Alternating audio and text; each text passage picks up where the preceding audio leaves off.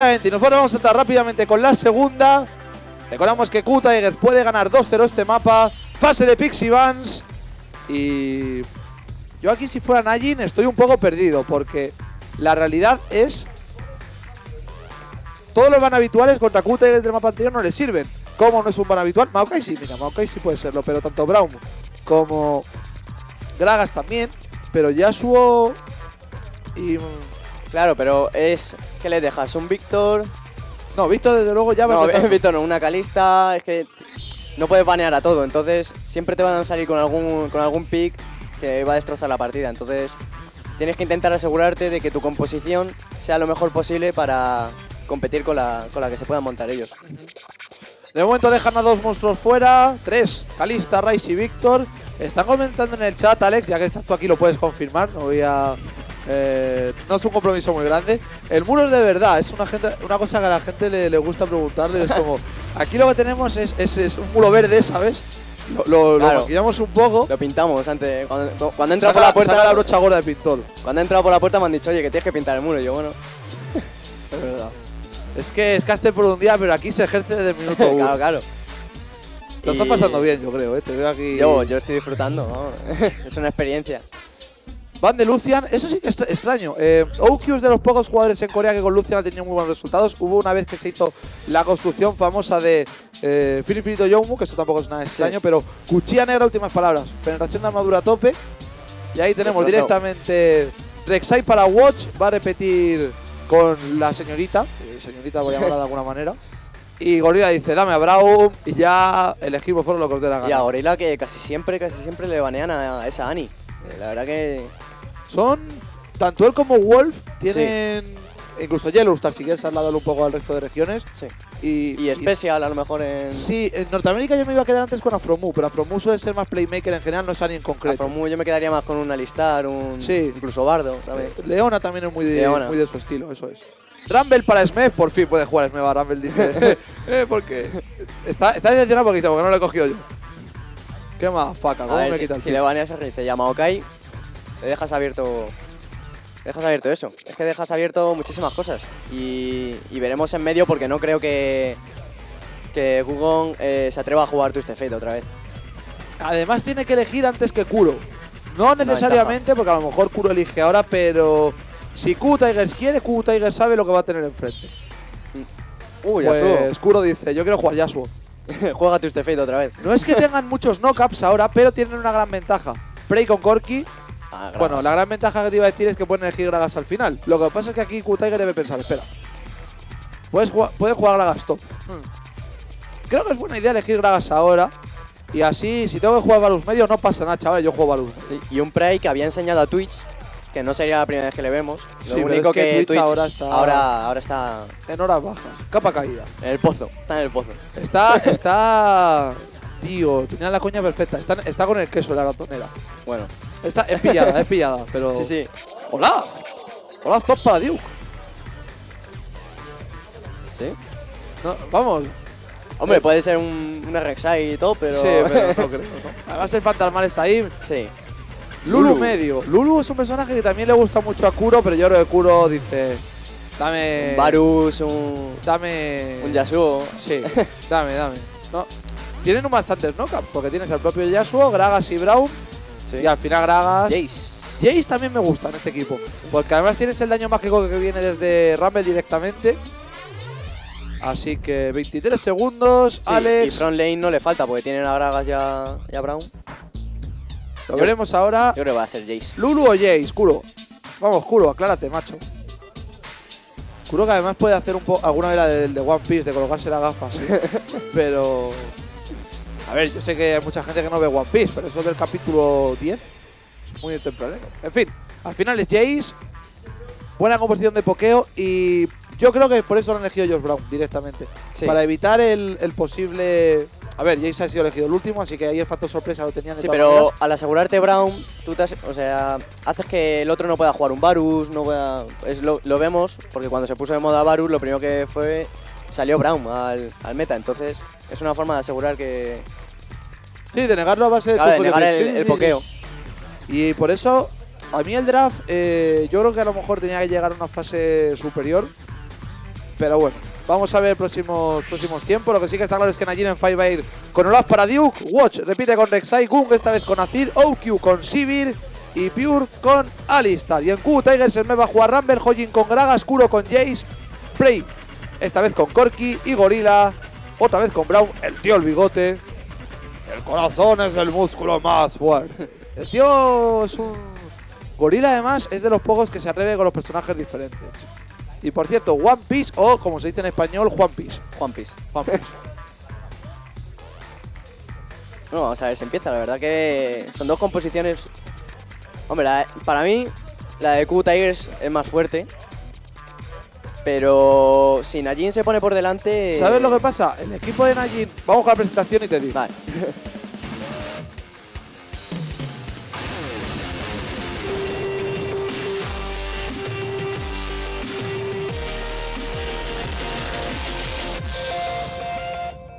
¿Cómo va la presentación, eh? Siempre ahí con los jugadores. Además tienen cara de, buah, chaval, soy el puto amo. todos". Sí, sí. Lo que te estaba diciendo, el... Espérate que ahora tengo que recuperar el hilo. Ah, lo de la composición. El único personaje que nos deja un poco perdido, yo creo que es Olaf, porque el resto si lo hubiéramos visto el parche anterior, diríamos, tiene un equipazo. Y Olaf, no digo que sea malo ni mucho menos, pero es el personaje que, salvo Reinover en Europa, el resto No hemos que visto, no, no hemos visto mucho. Y e- empieza con espada de Doran, o sea que en principio parece que va a ser un Olaf bastante, bastante ofensivo. Y Olaf es uno de esos campeones que si se ponen por delante te pueden hacer una línea bastante dura. Yo creo que Por hago- el daño verdadero. Sí, pero yo ahora he empezado con el hacha por el 2 contra 1. Porque así con el hacha puedes farmear desde lejos, no te expone mucho. Lo que me sorprende es que haya empezado con espada de Doran. Hay algo que Olaf puede ser, y lo aprendí gracias a Pepinero. Tú llegas, coges con el hacha, te haces los picuchillos tú solo, porque con el hacha lo haces Sí. súper fácil. Con frasco, eh, con espada de Doran ya lo desconozco. Y después vas a los lobos con la W y te haces súper fácil. Y vas a línea, perdiendo como mucho la primera oleada. Con nivel 2 y medio y, y bastante por delante. Maximizó el hacha, pegó un palizón, era una diana lo que tenía delante, creo. Y parece que Duke no va a optar por esto. No, y parece que no, que no vamos a tener cambio de líneas, o sea que en principio va a ser uno contra uno en top. Y además Rumble, como creo que fue Marin el primero, por lo menos el primero que yo me fijé, siempre con toma amplificador el primer objeto. Es la típica de... ¿Es un tío valiente o un insensato? Pues hombre, según lo que diga Gandalf, pero... Ahora mismo con el toma amplificador tampoco tenemos mucha conclusión de qué objeto va a buscar. Como todos los objetos tienen toma amplificador, menos el. Eso al final lo valoras. Uy, Prey. Prey, que le van a Qué partir bien. la cara. Va a llegar Piu. Veremos si quiere llegar el pulverizar. Corre un poquito más. Y va a llegar perfecto. Le quita la mitad de la vida. El curar. Le tiran el prender. Prey en problemas. Llegará Brown. Utiliza la Q. Ay, ay, ay. Prey. Pues han perdido botlane ahora mismo. Pecado de novato. Ahí. O sea, jugada de novato. Sí, efectivamente. Ha sido el novato. Esta vez ha sido él. Pues una Sivir que si se te pone por delante Uy, Dios. te amarga la línea. Mira. Qué crack. No sabemos lo que pone, pero está bien. Nos hemos enterado de todo, sí. Todo muy claro. Pues digo que va ahí con espada de Doran y pociones. De mana sobre todo porque Olaf tiene ese gran problema de- del consumo. Uno de los cambios que recibió hace años y fue lo que empezó a hacer que el personaje se viera, más allá de que el Warmog estaba OP y tal, es que la E dejaba de consumir maná y solo tenías la vida. Antes era el maná y además perdías vida. Era como... mm, mucho coste, ¿no? Que al final dice, pues no la uso. Voy a Sí. perdiendo. Olaf, recuerdo cuando salió el personaje, que aquí alguien del chat veterano me puede corregir en caso necesario, pero la W antes a nivel 5 te daba 90 de daño. Pues eso lo quitaron y era, era una bestia parda. Yo siempre lo digo, Olaf cuando salió para mí de los personajes más fuertes, Shin Zhao también está en ese grupo mágico. Y el personaje más carismático, más emblemático para mí, el Twisted Fate, que el salto era la E. Yo es que empecé en la Season 3, entonces no... Pues si te pones a buscar páginas web de estas que, que tiene su. eh, que tiene la historia de los parches y cómo ha ido esto, tú te vas al primer parche, empiezas a leer cosas y dices, joder, si yo hubiera jugado este LOL. Sí que Twisted. Fate saltaba con la E, tenía 30 segundos de cooldown, lo único, el salto era sin ojo, tú saltabas a ciegas, Ah, pues, pero saltabas por todo el mapa. ya, eso sí. Y el ojo era la ulti que Lo ralentizaba. de que el rango era de todo el mapa, eso sí. Sí, pero. Eso lo habían quitado en temporada 3, creo. Eso creo que es lo que... mm, No sé, a mí me suena que no. O por lo menos a mí me suena de que yo he visto... Ah, al principio de temporada 3 No, lo quitaron seguro, seguro. A mí me suena haberlo visto, entonces... Sí, antes saltabas. En fin, a por Smeb. Está en problema. Gragas, veremos si llega a tiempo. Tiene que flashear. El Smeb saca el escudo. El arpón busca el knockup. Esquiva el hacha. Ahí está el pechado perfecto. Que llega con el flash. Van a por Watch. El escupo llamas. La zona de peligro. Y primera sangre para Olaf. Watch que puede salvarse. Va a ser un doble kill para Olaf. Ay, ay, ay. Qué mal Q, Tigers. Najin lo consigue. Irán liado parda. Un Olaf 2-0. Y con bufo rojo.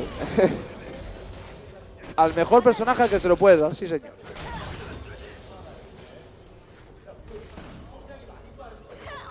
Ya lo hemos visto, amigo Alex. Sí, lo hacía, lo hacía muy bien Ojin, llegando también, pero... Pero Rek'Sai se había guardado el knockup, entonces parecía que la, que la batalla estaba perdida para los chicos de Najin, pero luego al final han sabido hacerlo muy bien. Además le dio tiempo a Gun incluso a moverse desde medio. No es que haya hecho algo brillante, pero eh, bueno, se ha sí llevado que- una asistencia. Exactamente, eso es. Ay, Dios mío. Estoy hablando ahora mismo de, de series en el chat. Siempre que sacamos el tema de One Piece o esto por... Bueno, porque al final One Piece tiene personajes extraños y se pueden recurrir a ellos fácilmente. Estáis hablando también de, de Bleach. Recordamos Bleach. que Bleach la cancelaron. Lo único que puedes seguir leyendo el, el manga está en el último arco de toda la serie. Un arco que a mí se me está haciendo muy largo, la verdad. Pero bueno, es el último. Y madre mía, Duke. Buah, va a subir a nivel 6 antes de que Smeb lo haga. Y le va a poner. Eh, Está totalmente zoneado. o sea, Sí. No puede acercarse porque como le meta eh, un hacha. una- un hacha con ese bufo y en bot vemos que la diferencia se empieza un poco a casi casi 10 minions ya de diferencia. Ah, viene Braum a ver si le pueden hacer la tramilla en 2 contra 1. Olaf no tiene manera de, de huir. Lo que sí que puede tener Olaf pronto es el nivel 6. Además no le queda mucho. Y, y no es la tramiña de uno, son tres los que viene. Viene Hojin, Brown también. Y Olaf ahora que... ¡Kaboom! Pues... Nada, no creo que se ponga tampoco. ¿Te has fijado, eh? Como el Olaf es en inglés en Corea también. Legendario.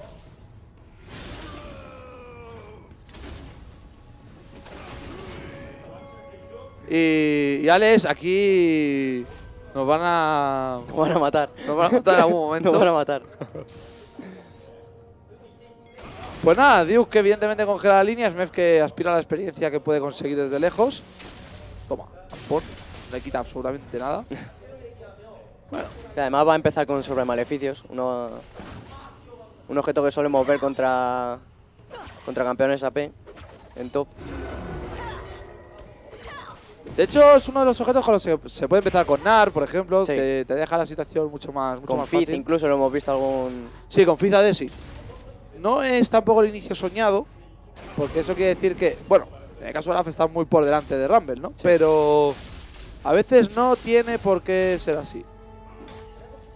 En fin, Duke, que ahora ya sí que tenía que pulsar la línea, la ha congelado muy bien, de hecho. Sí, eh, Esme está perdiendo muchísima experiencia, entonces eso va a seguir teniendo por delante a un Olaf que yendo 2-0 puedes no volear perfectamente esa, esa top lane. Y vemos que Kuro ya tiene la lágrima, la está cargando. En farmeo se está disparando un poco Bugón, pero ahí tiene una buena oleada, creo. Mira cómo está la cosa, que Rumble tiene que utilizar la ultimate para mantenerse directamente ya bajo torre. Como sabe que Duke también puede castigarle desde ahí. Duke que ahora va a hacer la, la del puseiño con el hacha. Sí, no es de esas veces que tiras la ulti a lo mejor para limpiar y vaquear, no, no. es- simplemente no puedes. Aquí es necesidad. Sí, sí. Pues. Pues nada, ahí está el boloncho de Jace. De momento, todas las líneas de Q Tiger por detrás. Una más y otra menos, pero todas por detrás. Así que Alex, esta partida para Najin tiene pinta de cambiar mucho el panorama respecto al anterior. Sí, y además eh, estamos viendo que OHQ ya tiene ese espadón. Va, va 10 minions, 12 por delante de Prey. Y parece que Najin se quiere hacer este con este primer dragón. Si quiere, no, se lo van a hacer. Bueno, ya, ya hemos ya- visto. ya- ya lo tienen hecho. Esta es la típica que nos, nos ponen directamente la serie. Uy, la serie. Sí, estamos, Ya, estamos sí, sí, se me, se me ha ido, se me ha ido. Nos ponen directamente el final y es como, pero el dragón se ha hecho tan rápido, pues sí. Najir evidentemente muy por delante de Q Tigers. Lo único, Alex, que bueno, como la partida anterior ha sido tan breve y tan paliza, pues. Pero muchas partidas hemos visto de, de los chicos de Q Tigers que en fase de líneas sufrían un poco, pero que luego hacían buenas rotaciones. eh, en la fase de teamfight suelen pegar un buen tirón. Entonces, los chicos de Najin no pueden confiarse por porque hayan ganado este early. Porque en cualquier momento, en una, en una pelea, eh, los chicos de Q se pueden poner, se pueden poner por delante. Perfectamente. Y lo van a hacer pronto, ¿eh? Tiene pinta. Es que hay uno de los problemas que tienen allí normalmente y es para cerrar las partidas. Mira que tiene jugadores muy buenos. Mira que a mí Duke me parece Sí. brutal. Obvio sobre todo. Evidentemente el carry del equipo. Pero... No sé, la sensación de que Q Tigers está... No, no me la quita nadie. Sí, yo- es justiciera probablemente para Olaf ahora para poder ganar esa velocidad de movimiento. Además con el fantasmal. Olaf, que no es un personaje que necesite especialmente objetos de daño. De hecho, lo ideal con él es conseguir vida y cooldown. Ya, y tanque si puedes, ¿no? De todo. Y ahí van a por Smeb. Ulti de Rammer, madre mía, no es muy buena. Olaf con la ulti, Alisa también. Kill fácil para Duke. 3-0. Cuando pasa esto, Nada, lo hace, lo hace muy fácil. Alistar con la ultimate puede tanquear lo que quiera. Entonces, lo único que hará, tiene que tener cuidado HQ por si no tiene visión de que, claro, el, 2 contra 1 también se lo pueden hacer a él ahora en bot. Pero estaba Watch por la zona, así que no debería haber mayores problemas. Aquí tenemos a Hojin, le parte la cara a Gun. Le ha salido bastante caro el tema. Bueno, a ver si recuperamos esto. Ahí está. Y. Y para todos aquellos que os preguntéis, que muchas veces estoy diciendo Alex, evidentemente es un nick, esto como si tal. Estoy preguntando que, quién es Alex, de dónde ha salido. Eh, el otro día decíamos por Twitter, o lo comentaba yo en el streaming del ECK, que este sábado íbamos a hacer un- una iniciativa nueva que nos lleváis mucho tiempo comentando, que era invitar a gente a comentar las partidas con nosotros. Bueno, pues eres un poco el conejillo de indias, que es el experimento, en buen sentido, pero eres el primer... eh, Eres el, el primero, en realidad. El primero. Y, y básicamente es el, el tema de Caster por un día, que venís aquí al estudio, comentéis las partidas con nosotros y os sentís un poco en la piel de, de ver las cosas desde este lado. Desde el muro. Hombre, no me refería literalmente desde aquí, pero sino desde la partida hacia afuera que desde fuera hacia adentro. Sí, obviamente cambia mucho verlo tú desde tu casa, que a lo mejor tienes tu propio análisis, que a lo mejor aquí intercambiar opiniones Entonces en ese sentido sí que cambia y que no es lo mismo pensarlo para ti en tu casa, en tu habitación, que solo te escuchas tú a, que te Ah, tantas el personas. espejo, ya se está practicando. Buen trabajo, sí. La partida está bastante pausada. Ahora los chicos de, de Najin deberían de pegar un buen tirón porque Jace tiene una lágrima. Entonces, cuando tenga la, la mana une, va a empezar, va a empezar a pegar. Eh, Corki con la Trinidad da un salto de calidad importante. Y bueno, Rumble, ¿qué vamos a decir? Necesita pocos objetos para hacer mucho daño. Sí, tampoco es que con lo que tenga ahora mismo. Bueno, evidentemente Olaf le, le coge y le destroza. Por cierto, me sorprende bastante que Olaf ha optado por la Stabby Ninja. No sé si el único objetivo que tiene aquí el amigo Duke, aparte de que Rumble con esos maleficios cree que no le va a hacer daño, es directamente. O era directamente conseguir la velocidad de movimiento. Recordamos que son las botas más baratas. Yo creo que el objetivo era simplemente ese. Y cuidado con Hoji, mira el teleport, ahí está la pasiva. Aparecerá Olaf en problemas Gragas, llega el barril. Por su parte el teleport, va a aparecer el Mef, tiene que flashear también. Se van a por Pure, buenísima ultimate de Brown. La de Rumble combinada, el escupe llamas, mira cómo está Gu, se puede salvar. Y parece que lo va a hacer de milagro. Ay, ay, ay, ay, ay. Culo se quedó sin maná. Corki está un poco lejos. Como si fuera de Elements. No muere nadie. Sí, joder, me dejan fuera juego ahí, ¿eh? es un buen resumen, me gusta. Y no muere nadie. Que al final es el, el titular, ¿no? De Sí, la- la pasa de todo, pero no muere nadie. Lo ha hecho muy bien el medio de todas maneras con ese ulti, el escupe llamas. Y. Y Gun, que debe haber visto su vida pasar por delante. Seguimos viendo que Najin está muy por delante de Q Tigers, pero yo lo que te decía antes, es que la sensación Es de que va a volver. es que sí, De que en cualquier pelea o un intento de Nashor, eh, Q-Tigers va a volver a la partida. Y si vuelve a la partida, por composiciones, yo creo que se la llevan. bueno, eso Opinión personal. No, no, no, no. Quiero decir que lo veremos a largo plazo, que eso no va a ser una decisión que se haga en 5 o 10 minutos. Salvo que haya un comeback estilo Fnatic. que es un equipo especialista en ganar las partidas, pero ganarlas de cualquier manera. Pierden de 10.000 de oro, da igual. Un fallo y se ponen por delante. Sí. Y ahí tenemos el rojo, bien, aquí Olaf Duke, robando el objetivo de Q Tigers. Y después de esto, La, Alex, pues... la Stabby Ninja puede ser que a lo mejor con la ulti, como te quitas mucho CC, pues a lo mejor no busca esa tenacidad de las botas. No, este es uno de los de, de Puede los- venir por ahí también. de los temas también. Sí, pero yo pensaba más en los cooldowns, incluso. Olaf no es un personaje que, que necesite en principio la bota de Mercurio, aunque, bueno, nunca está demasiado hacérsela, pero con la ulti debería ser suficiente en una pelea. Y quizá las botas de correr 3 para las organizaciones de Rumble con el arpón. Sí. Hombre, al hacerse esa Stabby también te quitas un poco el daño de Jace de lejos. No es que lo notes como te hicieras un corazón helado, pero sí se nota, El corazón helado yo creo que va a caer luego. seguramente. Contra un Jace y un Corki no, no va a venir mal ese, ese extra. En fin, pasiva. Pasiva. Partida pasiva, van a buscar el segundo dragón. Ahí tenemos a Najin ganando el río. 3.000 de ventaja para los del lado azul en este mapa número 2. Y ahí está. Empieza a pokear nuestro amigo Pew. Eh, juego. Le están viendo. Kuro. o sea que- Y bueno, ahí Duke va a perder un poco de vida. No tiene azul Jace, así que por ahí va a tener que darse prisa el equipo. Pero bueno, el dragón sigue ahí, el río también. Y los que están con toda la posición ganada son el Najin en Fire. Es lo que es lo que hablamos siempre cuando cuando te coges campeones que tienen la lágrima. Sí, al Sí. principio no escalan. bien. Claro, lo normal es que el, el early lo pierdas. Entonces, una vez que empiezas a cargar la, la lágrima y sobre todo ya las tengas mejoradas, los campeones pegan un salto de calidad muy notorio. No sé si el objetivo ahora mismo de Q Tigers es precisamente ese, conseguir que Jace tenga la lágrima. Quiero decir objetivo principal, porque está claro que es un, un plus importante. Las botas de reducción de enfriamientos también ayudan. Sí. Y Dios que sigue esperando un poco para la gloria justiciera. Ha comprado las botas de Homeward. No sé si para aparecer con el teleport. Eso puede ser muy nazi. Teleport de Olaf. Con las botas de Homeward. Activa Gloria Justiciera. Activa Fantasmal. Le puedes matar. Pero él te va a coger a ti seguro.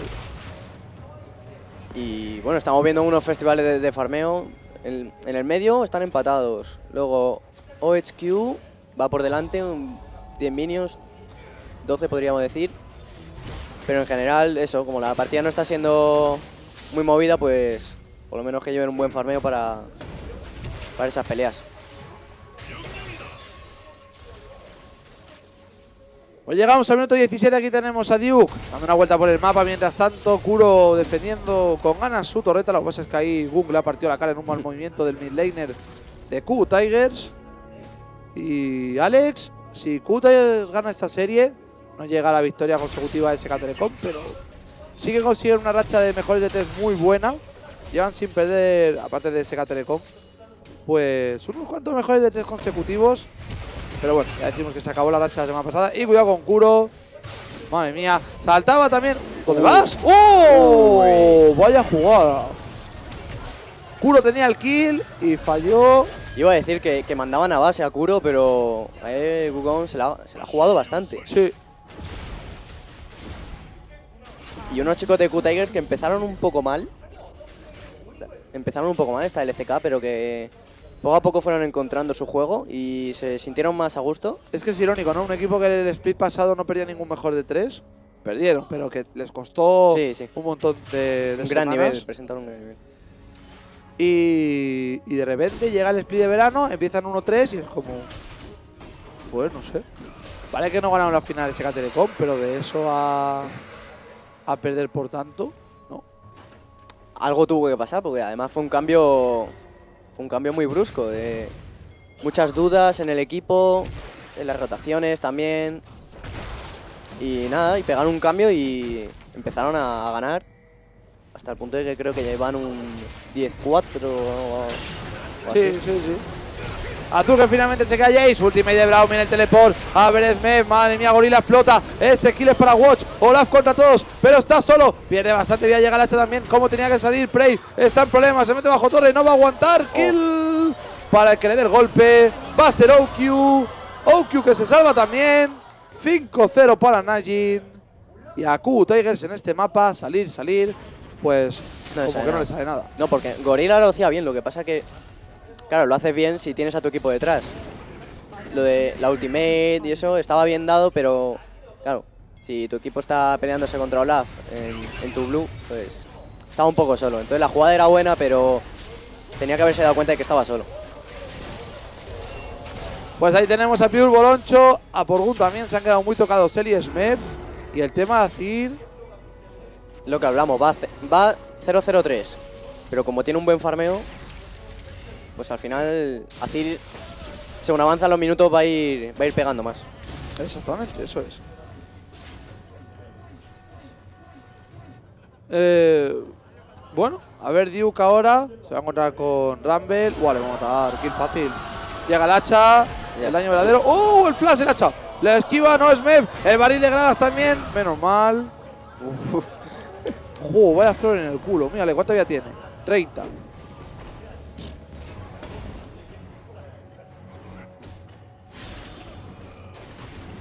Farmeo casi perfecto el de OHQ, además se llevó una kill, una asistencia. Tiene casi ese puñal de static ya. Aunque yo creo que le habría venido mejor un, bailarín. Pero bueno, para limpiar oleadas siempre, siempre ayuda.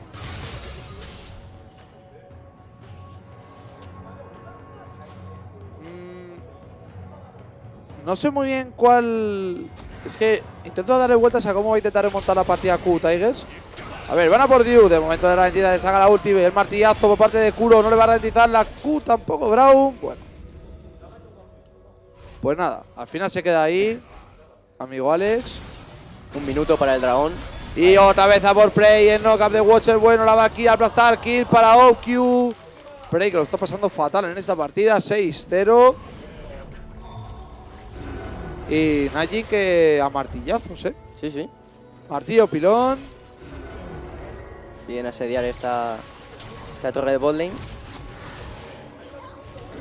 O por lo menos para meter presión y así asegurarse que tengan la zona controlada para ese, para ese dragón que está a punto de salir. Kuro que quiere defender medio. Le daba la Kurek'Sai. Van a por la torre. Won le pega unos cuantos autoataques. Madre mía, lo ha dejado bastante castigada ya. Tampoco ha hecho nada especial. No. Sabemos que Azir con la velocidad de ataque pasiva pues sí que escala muy bien.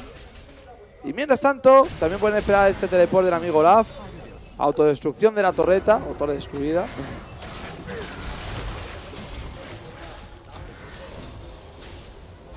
Y a ver ahora con Kuro.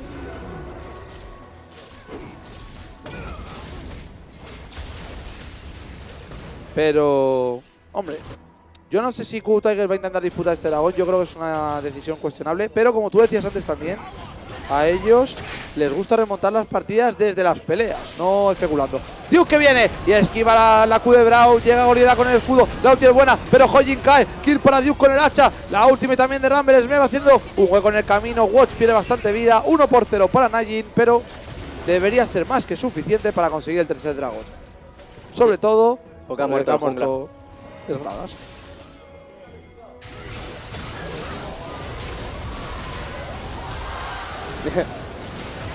Diu que va por, Ola- va por Jace y al final solo se queda en uno por uno. Ahí van a por Prey, otra vez puede palmar, llegaba la Q por su parte, Kuro que quiere reventar a alguien, no lo sabemos, al final mata a Olaf, la puerta para correr más deprisa, cambia de forma también para ganar esa velocidad de movimiento, le está chaseando a Alistar, ay Gorila, qué coña, y Kuro se ve ahora por Pure, Watch que va a llegar, kill, finalmente, Y dragón.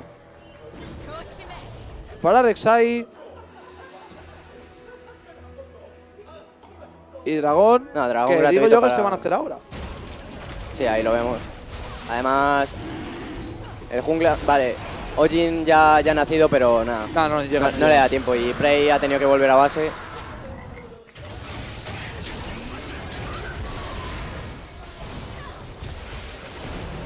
Y ahí vemos que lo hacía muy bien Pure, levantando, aplicando el knockup sobre Rumble. Y luego era la, la cazada sobre... Que Jace cazaba a Olaf. Lo, lo extraño, yo- ahí no sabemos si Pure, eh, perdón, si Duke ha confiado mucho en la, en la pasiva de Olaf para ganar velocidad de ataque a medida que tiene menos vida y poder matar forzando. El caso es que al final Jace se lleva el kill, luego Jace caía y ahora mismo Najin le, le está dando un repaso a Gutiger muy serio. 9-2, ya vemos que esta partida es exactamente igual que la anterior, pero cambiando los lados del mapa o los equipos. Y Sí, ahora mismo Najin podría juntarse e ir a asediar. Y. Y es que Q-Tigers ahora mismo no puede hacer nada. Están bastante por detrás. Incluso podrían plantear un Nashor que con Olaf. Olaf, Sivir ya con el puñal static, el sable de aguas estancadas puede caer bastante. bastante deprisa.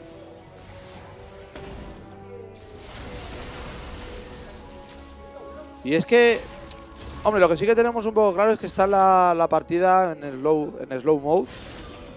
Para en Fire es lógico. Ellos han conseguido el tercer dragón y es como cuando consigamos el cuarto podemos buscar el Nashor.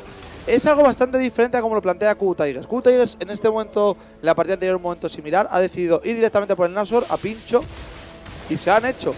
Ahora tiene una buena oportunidad de... ¡Oh, lo ha robado! Qué bien. Lo ha robado con el barril. Y eso por. Iba a decir por dejar el, el rojo, pero no. No tenía Plastar Watch. Y Rek'Sai va con el túnel. Al final recibe la radiación. Madre mía, Kuro eh, no, no da muchas No buenas da, no. hoy, eh. Está Firo con Yasuo, pero con Jace.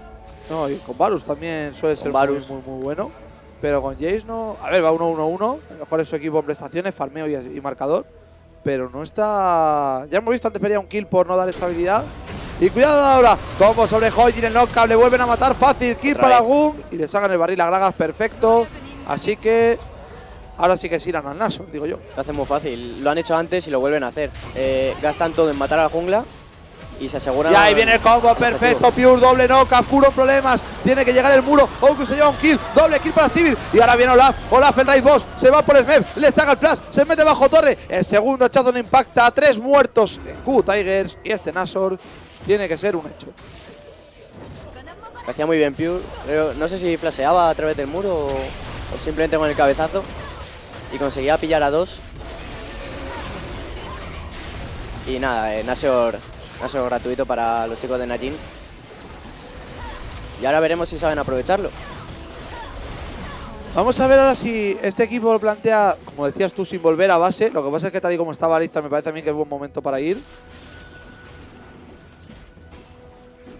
Así que, Alex, pues... Najin ha cogido una magnífica ventaja y ahora lo que tienen que hacer es aprovecharla. Sivir que ha optado por la hoja del rey arruinado por encima de la sanguinaria no me sorprende mucho, pero bueno. Ahora Teniendo un Gragas, un Brown, son una front lane bastante, bastante dura, entonces a lo mejor ha querido buscar bajárselo. Y, y otro detalle, quizá la activa solo para ganar un poquito de velocidad de movimiento. Sivir es un personaje que no tiene saltos. Es verdad que con el ulti y con la pasiva de la velocidad de movimiento sí que da un poco más. Pero, como digo yo alguna vez, nunca está de más tener velocidad de movimiento en este juego. Cuanto más tengas, mejor. Sí, siempre, mira- siempre viene bien. Mira que sinvergüenza aquí Duke, cómo está la- lo suficientemente cerca de los minions para que no pierdan el bufo del Nashor. Y ahí Najin en Fire que va a buscar esta torre de bot. Ah, Torre muy, muy fácil. fácil, muy fácil. Y ahora hay que ver qué pasa con las de inhibidor, que estas son las, en principio las complicadas. Antes a Q Tiger le costó bastante menos cerrar la partida, en buen término de tiempo. Sí, pero, si te fijas, Jace y Corky están en, están en medio, entonces... Aunque bueno, Azir, Azir tiene que rotar para ir a apoyar a, a sus compañeros a la bot lane también.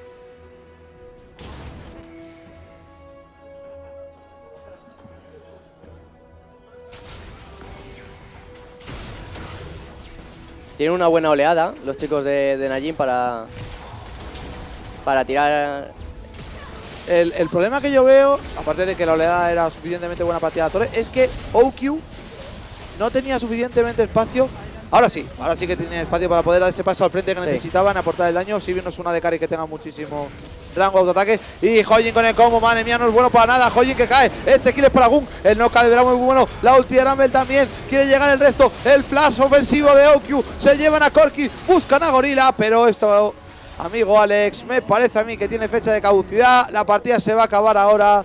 Si es que Najin en Fire puede acabar, lo van a intentar y lo van a hacer probablemente. La primera torre Nexo cae, no tardan nada. Busca la segunda. No hay wave clear en Q Tigers. 29 minutos de partida. Es el 1-1 y gran partida de Najin en Fire. Victoria para ellos. 14-2. y el amigo OQ MVP casi seguro. Seguramente. Es lo que hablamos muchas veces de pelear. Está muy bien pelear aunque vayas por detrás, pero claro, si peleas en tubas y te sale mal, eres consciente de que, de que tiene la partida, pero aún así, de esta forma, si peleando consigues ganar alguna, tienes más, tienes más probabilidades de meterte en la partida. Entonces te la tienes que jugar a quedarte en base esperando a que simplemente caigan las cosas. Partida bastante fácil para los, para los chicos de Najin. Y vamos al desempate. Al último partido, al último partido de la serie, tercer y definitivo mapa. Eh, partidas muy cortas, bastante claras para el equipo que ha salido desde el lado azul. Así que esta típica coña de el que ha ido en el lado azul ha ganado la primera, ha ganado la segunda, ha ganado fácil, el que vaya en el lado azul gana la tercera, pues quizás sí. Están comentando mucho por el chat. eh, Duke también. MV, Ah, pues también, también puede lo ha ser. hecho muy bien, pero yo me quedaría personalmente con, con OHQ. Porque Duke ha tenido mucho protagonismo, pero más en, fase de líneas y con el ganqueo, sobre todo de, Watch. Pero OHQ creo que ha tenido más influencia a la hora de, de ganar la partida, de objetivos. Entonces, para mí, se lo daría a OHQ. Pues nosotros veremos quién se lleva el MVP tras la pausa, porque vamos a hacer un alto en el camino y volvemos con más LCK aquí en español. Alex, que seguirá conmigo, tercer mapa, y veremos si es Q Tigers o Najin. ¡Hasta ahora! Ahora.